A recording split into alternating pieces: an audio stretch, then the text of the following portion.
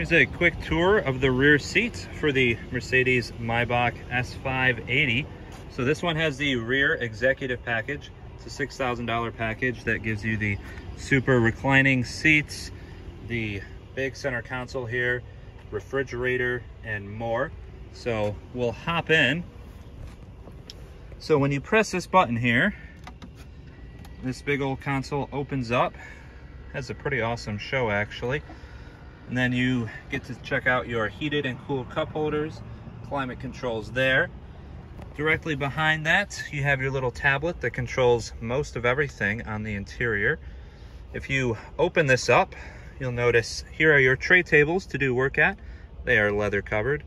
A wireless phone charger in there, a bunch of other ports right there. Close that guy up, and directly behind is the refrigerator. So this is where you keep the champagne, of course. And assuming you have the champagne flute option, uh, this one does not have the champagne flutes in there, unfortunately. This is where you'd keep those too. $3,200 option for silver plated champagne flutes. Absolutely worth it, right?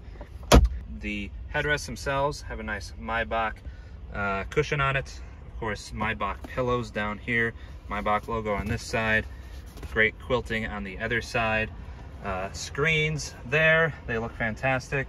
Uh, even down here, this little pull strap here is covered in wood and uh, full light outline. Pretty special interior back here. And uh, quick moment, I will show you to you guys in the full recline mode for this seat. So you hit the little button that is basically a one-touch operation on the door here. That guy that's fully laying back. And then the front seat moves forward out of the way. The rear seat reclines to its rearmost extreme angle. Your footrest comes out.